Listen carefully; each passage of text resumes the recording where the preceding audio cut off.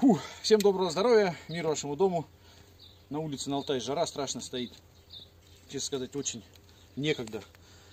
Но вот приходится тут это просить юных операторов, вот, чтобы снимали какой-то контент. Мы тут работаем все, э, стоит жара, и у нас есть хорошая возможность э, для сена. Значит, сейчас для того, чтобы подготовить сено, вот здесь вот обычно у нас тут площадочка такая из, э, да, вон всяких деревяшек. И тут что-то года два уже не чистил. Вот сколько собралось перепревшего навоза, потому что здесь козы ходят. И, собственно, это же все вот добро, прям ценнейшее добро. Сейчас все свозим на кучечку, на одну. Это мое такое, э, короче, одеяние, как у арабов в пустыне. Я теперь понимаю, почему они вот так вот, у них такие, не знаю, как называется, ходят. Очень, кстати, удобно, ничего не обгорает, ветерок прям ходит. Вот наша тачанка, наша помощница. Очень хорошо, слава богу, экономит нам силы. Мы, конечно, тоже работаем, но намного легче, если бы мы тут все вручную бы таскали. И наша лошадка силой 9,5 лошадей. Справляется потихонечку, потихонечку гребет, где-то вот с места иногда не может тронуться, мы его э, подталкиваем и вперед. Ну все, сейчас мы вот это все перевозим, последняя тачка осталась, похоже. Делаем здесь, э, на, наростим борта и будем э, собирать сено. Ну, это потом покажем, значит. Очень много осталось сена, которое трактором после тюковальчика, ну, там как-то получилось, не заехал, там неудобно, еще что-то мимо пропустил. Вот, и этого сена очень много. И поэтому мы это все соберем, и нам, наверное, на зиму хватит. Ну, плюс еще, конечно, докупим какие-то тюки. Фух, вот так, пошел работать дальше.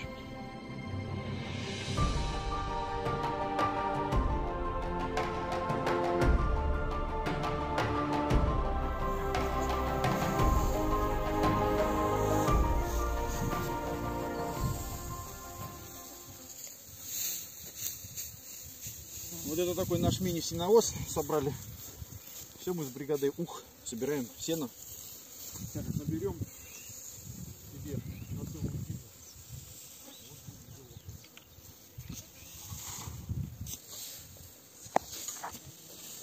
Я помню в нашем детстве, когда в первые года тут приезжали, убирали сено, тоже был 66-й газончик, нарощенные борта тоже деревянные, вот как у нас прям. И помню, это я часто стоял на газончике и топтал. Утаптывал, укладывал. Вот сзади нужно было осторожно, точнее, хорошо выложить. Так, чтобы когда он ехал, чтобы все это не высыпалось. Это была достаточно ответственная работа. Работали все компании, было интересно. Вот так было наше трудовое детство здесь. Поднимали деревню.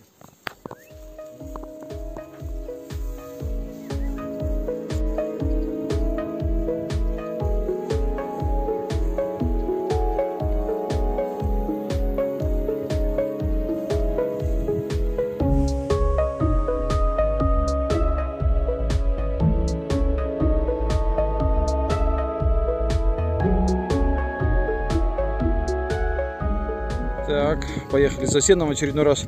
Решили немножко охладиться. Бригада Ух.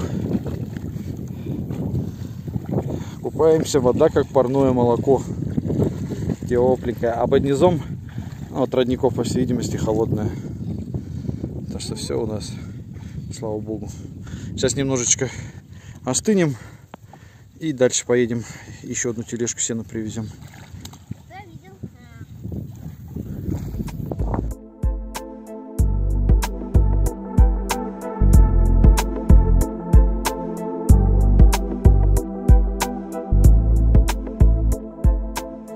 Так, ну последний аккорд на сегодня. Привезли а, последнюю тележку сена. Вот, значит, если учесть, что вот как будто бы, не знаю, мне кажется, что вот это вот на полтюка похоже, нет сена. Вряд ли, да, наверное. Хотя мы утаптываем на полтюка, вот который вон там он лежит. Вот такой вот. Может быть, может быть он есть здесь полтюка, не знаю. Дело в том, что если здесь полтюка, то можно смело сказать, очень много сена остается на полях после сбора а, этим рулонником. Вот, и поэтому, если есть время, ну и возможность, наверное, самое главное время, мне кажется. Время это у нас деревня, тут самый дорогой ресурс.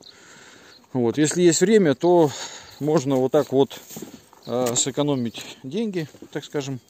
А все, что сэкономил, ты заработал. И таким способом навозить себе сено. Вот от- даже, например, 20 тюков мне нужно. Это ну 40 вот таких вот тележек. 40 поездок. Так что, э, не знаю, мне кажется, это все под силу. Все это реально. Вот. 40 рублей будут сэкономлены. Ну вот так. Все, слава богу, сезон сенокоса, сенозаготовки открыт. Продолжаем дальше работать. На следующей неделе дожди обещают. Вот так.